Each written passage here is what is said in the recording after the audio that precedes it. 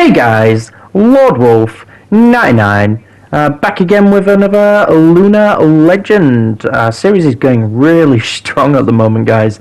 Um, I've I've stopped keeping count of how many episodes there are, um, purely because there's that many at the moment, and I've literally got a list, and I think I've got like six or seven more ideas um, that still need filming so the series is going really well so far. Um, and like i keep saying i'm really enjoying filming this series guys. It's honestly it's just super chill. And i kind of get to sit back and just talk. And yeah it, it's great. Um, so this episode is called delirious driving. And it is a solo episode. There are no guest stars uh, this week. So if you were coming um, expecting you know another another duo. Um, I apologise, um, but stay tuned for next week because that probably will be. Because uh, at the moment I don't have too many solo stories. Because as I've said before, guys, most of my stories are with Adam because we used to go out like every day and hang out and shit. So, but this is just a solo story. And it's not just one story. Uh, this episode, guys. It's it's more sort of uh, an accumulation, accumulation, accumulation, accumulation of um, mainly just all my driving stories. Um, so yeah, um, yeah, we're just gonna get into it, guys. Um, delirious driving. Here we go. Um, so basically, um, I keep saying that. I'm sorry, guys. When I was uh, 16, yeah, I think I just turned 16. Um, my mum and dad uh, paid for me to um, do a CBT, which, if you don't know, it's a, a, scooter basically.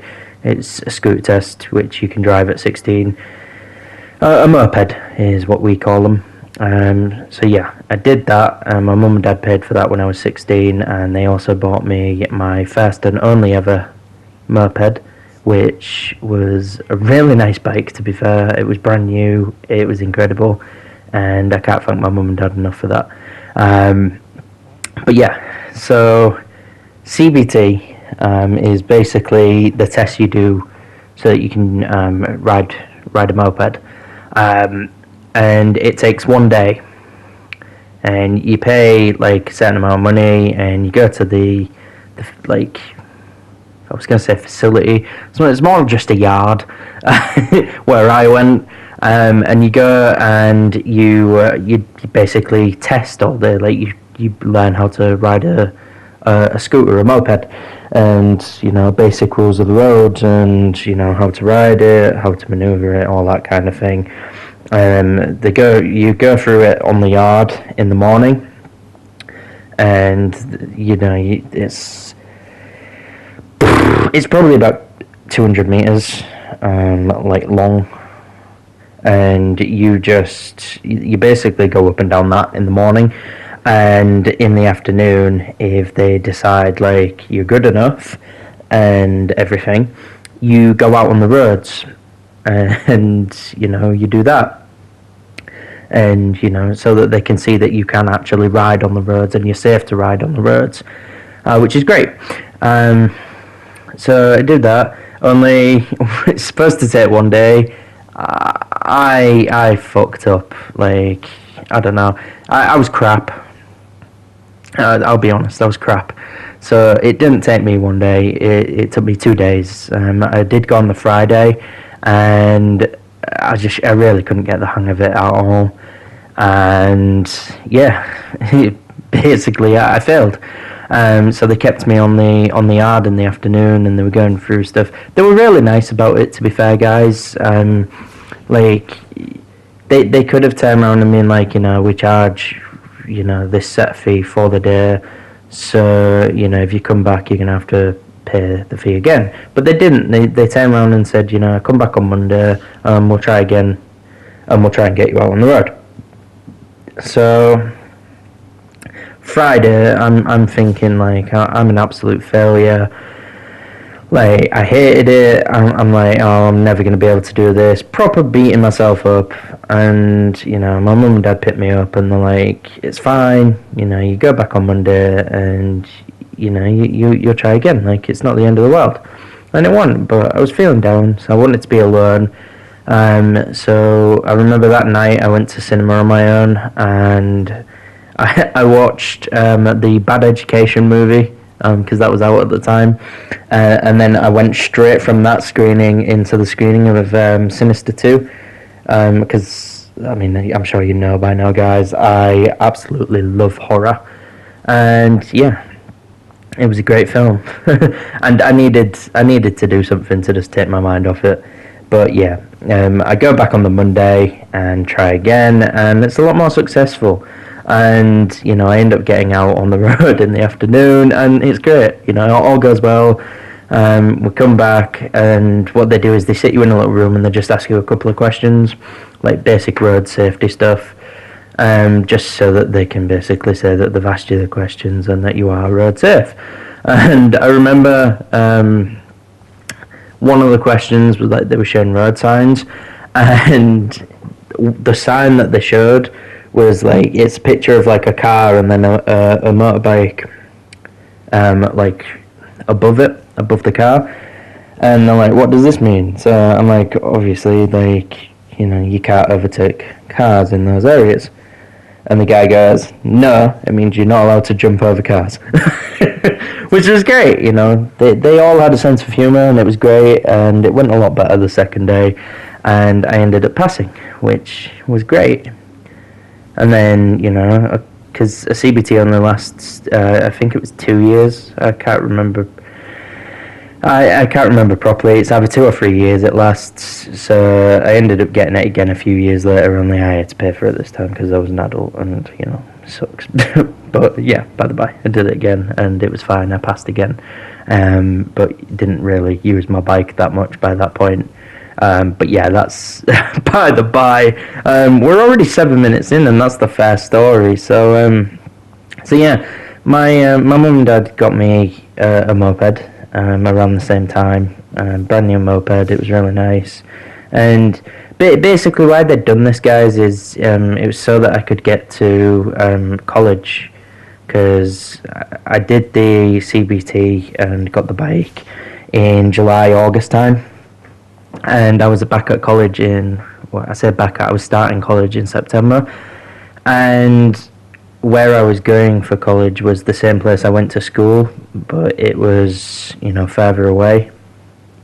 It, not you know what I mean like it, it's not close to home is what I'm trying to say. Um, it's in like a home of a town, and yeah. So I used to use my moped to go to to college, and it was great. Remember the first day of college. I um, fucking muppet that I am. I I locked my my keys in my bike, which is great because I'm an idiot. Because I used to like I used to wear a, a like a proper bike jacket, and I'd wear that whilst I was riding and I used to, you know, keep everything in it. And then I'd, I'd get to school I, would like be locking up and everything, and I'd take my keys out and I put them in my pocket, in my jacket pocket, and then obviously the jacket's quite bulky, and I don't want to carry that around all day. So what I do is I fold it up and put it in my seat because I don't know if you know, but seat on a moped you have like a little storage section. So I fold it up, I put it in there, and lo and behold, my keys are still inside my pocket. So yeah, I had to I had to get my dad to to come because he had the spare set of keys. Because God, you can't trust me with both. Because I mean, I'd already locked one set in the bike, you know. Um, so he came um, out of his way, bless him, um, to to help me with that, and you know, get me my keys back. And it's embarrassing to say it wasn't the first time. like I mean, uh, not first. It was the first time. I meant it wasn't the only time it happened. Um, it happened a few times whilst I was at college that he had to come and bail me out because I'd locked my keys in my bike, which is fucking stupid. I'm an idiot. But by the by, but um, whilst I had my moped, guys, there was you know a few few issues, few issues. Like I came off my bike a few times. Um, the first time was literally um, around the October, um, so I'd only been riding for a few months, and it's a fucking shit day in terms of weather. Like really raining, pouring down. Like it is crap. It's stormy weather, and I've gone to college. It's a week off, but I've gone to college uh, to do a rehearsal um, because obviously I did drama and you know everything like that. I did theatre studies in college, and yeah, so I went to a rehearsal, and then on the way back, I literally, I, I was literally around the corner from from my home where I lived and everything, and it's roundabout, weather shit, and my bike just goes out from underneath me, and I'm sliding across the floor, like literally sliding, and like I looked towards my feet, and I could just see my bike sliding away from me as well, and honestly, guys, it's trippy as fuck. It's it's mental. Like the amount of adrenaline you've got going in, like that situation, like it was insane. It, and I'm not gonna lie, I enjoyed it. like that sounds ridiculous because you know, obviously, why why in like who who in the right mind enjoys that shit? You know. Like I'm coming off my bike for fuck's sake, but the adrenaline rush just got me. Like I loved it. Um, but yeah, I ended up coming off my bike, and you know, it's the first time I'd ever come off my bike. It's the first time I'd ever like experienced that amount of adrenaline and everything, and I'm in shock. And I'm I literally like crawl to the side of the road because there's like a grass bank, and I crawl onto the fucking grass bank, and like I take my helmet off and drop it, and I, am like fucking like, like I'm in pain, uh, and I'm like fucking struggling and bless this guy, this this guy in a car saw me and he stopped, bless him. And at this point, like my bike was in the middle of the roundabout, and like it wasn't in his way or anything. He could have he could have you know quite easily drove off and just left, but he didn't. You know, he, he did the nice thing. He stopped. He picked my bike up and he brought it to like to the side of the road where I was and he stood with me for a few minutes to check that I was okay and everything. Asked me if I wanted a lift, uh, like anywhere or anything like that. He, he was a nice guy, to be fair. But I said to him, "No, I should be fine. Like, I live around the corner." And yeah, it was fucking shocking. And I get home and I've got like a massive gash like down my fucking my side. It it wasn't nice. Like it wasn't anything serious. Like it was. I don't want to like say it was deep or anything. It was just a, like a massive like gash and it's like ah oh, it was it was grim but yeah and then the same thing happened on a different roundabout um, near my first place of work like I was almost at work and it's rush hour traffic in the morning and again it's shit weather raining England go figure and I come off my bike and yeah um, most people are just being absolute assholes about it and you know they're berating me and fucking honking their horns and just being assholes. And only one guy in a van actually like parked up next to me and like he didn't get out or anything, just stopped and he rolled his window down. Is that you alright, mate? Like, and I'm like, yeah, yeah, I'm fine. Like, you know, I'll be fine you know, and I don't know. Like I get they need to get to work and stuff, but like I've just come off my fucking bike. Can you give me a give me a sec? Like I just need to um, get my shit together, you know, and, and compose myself. Like that was more scary because it was rush hour and I'm literally sat thinking to myself, holy shit, I'm gonna die. There's gonna like a car's just not gonna be paying attention, and they're gonna like run over my head or something. Like I was shitting myself, but I ended up being fine. Um, I took the day off work because you know stress, shock, and all everything. I was, I was in shock, which I was. I was. I was in shock. Um, I, I maybe did play on it a little bit to get out of work that day, but that's besides the point. You know, it, it's what it is. no, but yeah, that's that. Um, yeah, I'm kind of just going into these stories just repeatedly, guys, because it, I don't know. That's what the whole point of this video, you know, is just go from one story to the next to the next. They're all about driving and the road and stuff. So again, like with my first place of work, um, again, like rush hour traffic, only not in the morning. I'm leaving work this time, and Sorry about that, guys. Pardon me. Um, I get to the end of the road and it's T junction. Literally, like works within spitting distance at this point. And it's rush hour traffic. T junction, so I stop because there's cars coming and they have the right of way. And some old guy goes into the back of me and pushes me into the fucking traffic. And I am shitting myself, and I'm like, what the fuck is going on? Uh, I, I'm like, I was fuming, and like, I ended up like getting the guy to pull over, and you know, he, he couldn't be more apologetic. He, he he explained that like, I mean, he shouldn't have had this assumption, but he he presumed, uh, assumed, um, because I was uh, you know on a moped that I, I was just gonna go for it. You know that I wouldn't care about the rules of the road, and that I would I would just you know go for it. And no, dude, that's not how it works. Like, yeah, some people are absolute assholes and on mopeds. You know, most people are, and they will just go for it. But no, I'm, I'm, you know, a, a rule abider, and yeah, it's just like it, it shocked me. It like, like I understand where he was coming from, but it, it really did fucking shock me. Like again, I could I could have died. Like all all it takes, all it would have took was him for him to have knocked me like a few more inches forward, and for me to have not been as quick on the brakes, and I'd have been hit by a car, and that'd have been his fault. And you know, it's it's one of them things. Like yeah. But then, yeah, a, a, a, few more stories on the way home from work as per usual.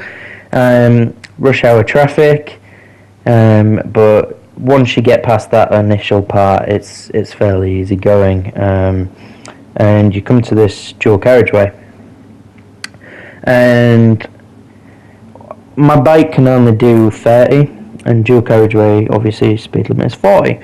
Um, so the rules are like if it's if it's traffic, I can I can go down the middle of it. Like there, there's a lot of um, like questions about that, and you see a lot of road users on in comment sections on Facebook and stuff who think that we're not allowed to do that. We are we are allowed to do that. It's it is perfectly legal to do it. It's not illegal at all. We can do that. Just to clarify.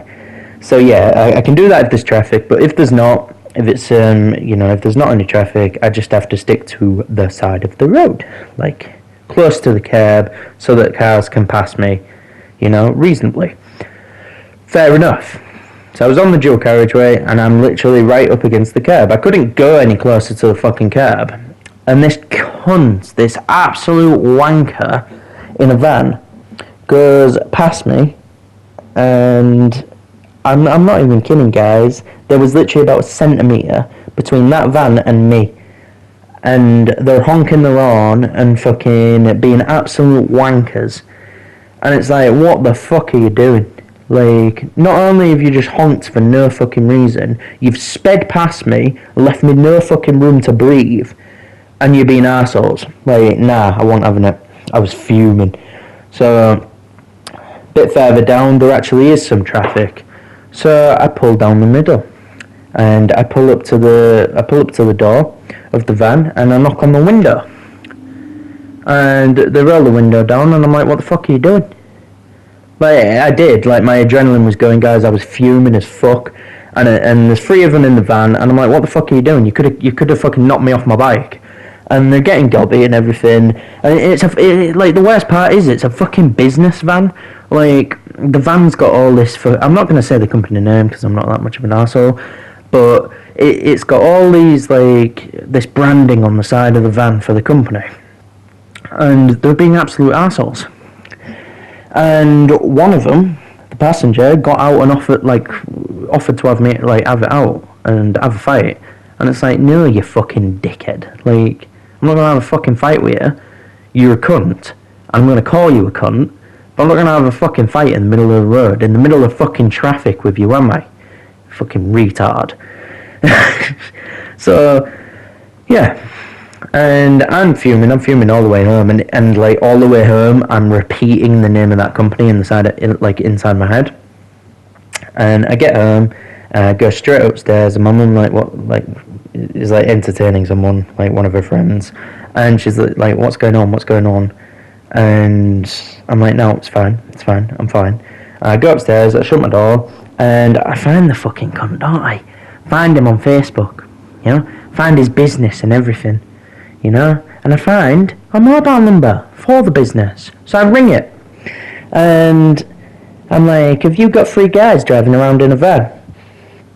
And the guy's the guy suddenly becomes really fucking cautious, and he's like, "Yeah, why?" And, I, and straight away I go, because they almost fucking killed me on the fucking road. They're driving like fucking nutters. And it turns out, this guy, who was the owner of the business, mind you, was the one fucking driving the fucking van. So I actually I had it out with him on the phone. We're both fucking shouting at each other, and you know, being fucking massive wankers about it. And you know, hang up and I ring the cops. I ring the police and told them about his reckless driving because he was he was being a fucking wanker. like they the police can't really do much about it. Fair enough, but you know he was being an absolute ass. And the police ended up ringing me back, and they were like, "Oh, like, did, did you try and break his, break his car window, like the van window?" And I was like, "No, I knocked on the window, which I told you in my initial report, like that I, I drove up to the like window and knocked on it to speak to them." And the cops like, "Oh, right, okay, yeah, that's fine." Like, he he said you you were like proper hammering on it and punching it and trying to break it, and I was like, "No, why would I do that?" Like, uh, why would I ring you if I've done something wrong? And they're like, yeah, we had a word with him, and yeah, he's, going to be more careful in future. Is he fuck? He's a fucking wanker. He really is. Fucking asshole, man. He's lucky that I'm not more like inclined and you know to be an asshole and you know be a criminal because he was a muppet. His, his name like I'm not going to say his name because I still remember it. It's a, car- a carpet company, and the name of the company was literally his name, his full name, his his first name, his surname, and then carpets. So not only could I find his business, but I found his actual Facebook profile. You know, which the Muppet had his address listed and everything. So if I if I was that way inclined and I was a criminal, which I'm not, I could have I could have been a royal asshole to him. I really could have. But I didn't. And, you know, I'm I'm a bigger person for that, I feel. And he's gonna rot in hell somewhere. I really hope. I hope he has the like a lot of misfortune in his life. And I do not care, guys. So don't, don't blame him, it's horrible. No, it's not. He was a wanker. it's justified if they're a wanker. uh, I'll be the first to admit I'm not a nice person sometimes, guys. I will be the first to admit that. But this guy is not a nice person either. So, you know, he deserves whatever misfortunes happen to be coming his way. That is just how it is. But yeah. and then, like, again, another time, not during rush hour. Same dual carriageway. I'm driving down it and this guy's an asshole, does pretty much the same thing as these guys in the van, and he's mouthing off in his mirror, and you know I can hear him shouting and swearing, so I flip him off, and he, fucking slams on his brake and gets out of his car. And I'm, I'm like, I'm stopped behind him at this point because he's causing traffic. And he's got out of his car and he's, he's coming towards me. And I'm like, yeah, what do you want? Like, what, what do you want, big man? because he was fat as fuck. To be fair, you know, I'm quite big myself, but he was fat as fuck, and he's wobbling towards me more like, and I'm like, what the fuck do you want? And I wait for him to get like a, a meter away, uh, and you know, by this point, like he, he's nowhere near his his car. And then I just drive around the side of his car and pull up in front of him. So he wobbles fucking back to his car and he gets in and he's ranting and raving behind the seat and he's out of breath and everything and I'm fucking laughing to myself. Uh, assholes, man. Absolute assholes, guys. Like, they are. Like, yeah, alright, most, like, a lot of people on mopeds are absolute wankers. I'll admit that. I wasn't that. I followed the rules of the road. And I was only ever a wanker if you were a wanker first.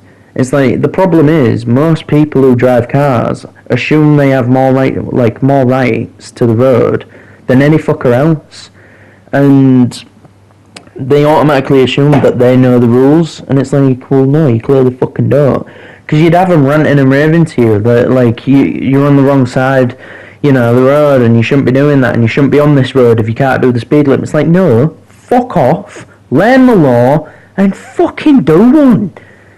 Like, fucking get a life. It's sad as fuck, guys. It really is.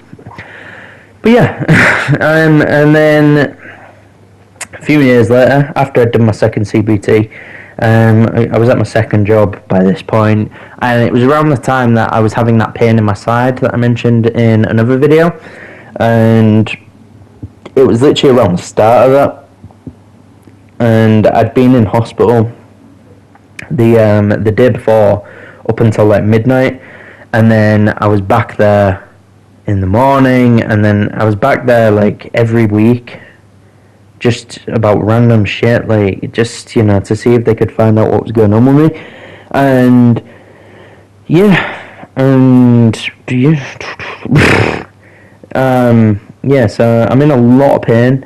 And my bike got stolen from our garden because I used to keep it in mum and dad's garden, but it was chained up, like it was chained to the ground, and like locked up and secure and everything, like all that. And but they they cut the fucking.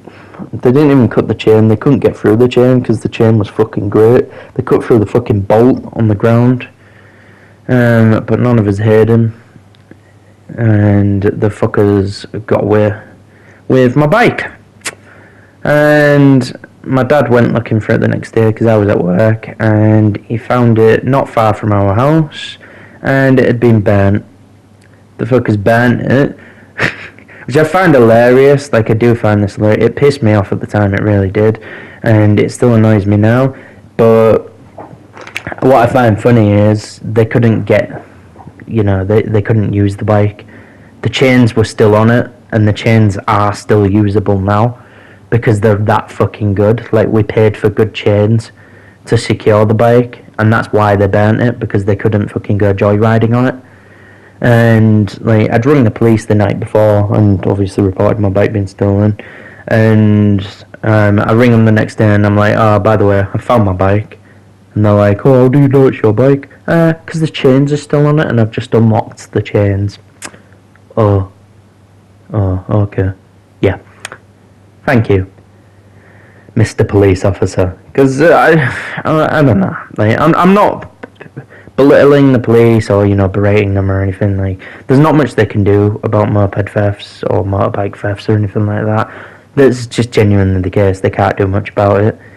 Um, yeah, there's not much they can do about it. it. It's just it is annoying that they can't do much about it. I think I know who did it as well, and yeah yeah, not gonna say obviously, but I do think I know who who stole it, and karma is a bitch, you know. Like I said about the other guy, you know. I hope this person gets whatever they come get like have come into them and they rot in hell for all their sins, as we all will one day. but yeah, um, but before that, like at this point, I wasn't using my bike that much anyway. It was still a kick in the teeth, but I wasn't using it. Um, but yeah, when I was at my first job, I'd started learning how to how to drive a car, and like my mum and dad bought me a little run around, and I used to drive my mum around and, and stuff like that, and I used to have driving lessons and everything. And it, like to end on like a bit of a funny one, um, I, I was do- with my driving instructor once and doing a proper lesson and that particular lesson we were doing an emergency stop. And my driving instructor used to pick me up uh, before work. So like I'd get to drive around for an hour and then like we'd literally stop outside my work so I could just go straight in. Um, so I'd have like my, my lunch on the back seat and stuff only I'd have it in like a, a plastic bag.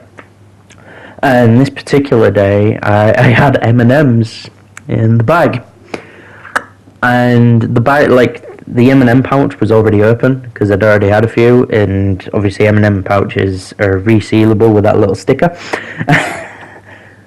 so yeah, I resealed it. It was in the plastic bag, And we're driving, we're driving, and then my instructor just goes, Stop! And I do the emergency stop, and there's M&M's everywhere. Only he hasn't noticed at this point, and he, he's like, Right, carry on. So I like put the, put the kind of gear and everything, set off again, but I'm not driving properly. I, I'm literally pulling into the side of the road, and he's like, "What are you doing? I, I haven't told you to do this." And I'm like, "Yeah, I know, but there's there's food all over your car, and like under the pedals and stuff, and I'd rather get rid of that before we carry on driving, just to avoid an accident." it was great. M&M's everywhere. Um, yeah, I just thought we'd end on that because it's a bit of a, a bit more of a light-hearted one, guys. Um, yeah, it's great. Um, the funny stories, you know, and clearly quite a long one. I, I, I genuinely didn't think this video would be that long, but once I've started talking, it's just it's taken this long, and I haven't done a solo video this long yet, so I'm hoping it's good, guys. But yeah. Um, that's the end of another Lunar Legend, guys. I hope you've enjoyed it. I hope you're enjoying the series as much as I am filming it. And yeah, just good vibes all around, guys. Good vibes all around. Um, I'm hopefully going to be recording more of these uh, ones that I said I've got noted uh, with Adam over the next few days. Uh, you won't see him for like a month and a half, two months. You know, I've got that many already scheduled, and it's that many there that we need to fill. But you know, it's probably going to take us into December actually. You know, the amount that I've got planned and shit. But that's all good. It's it's all gravy, guys. But yeah, um, thank you so much for watching this video. Um, I hope you enjoyed it, and please like, subscribe, and comment down below. And I'll see all you guys in the next video. Uh, bye bye.